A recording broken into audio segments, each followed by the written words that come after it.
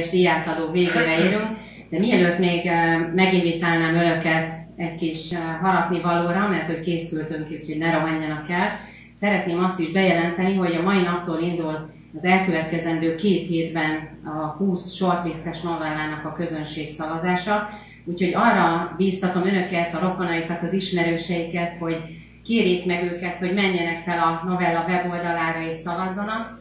A pályamunkákat pedig a busz megállókban, villamos megállókban Budapesten és a megyeszékhelyeken július 15 és augusztus 31 között lehet olvasni. Úgyhogy kérünk szépen mindenféle Facebook és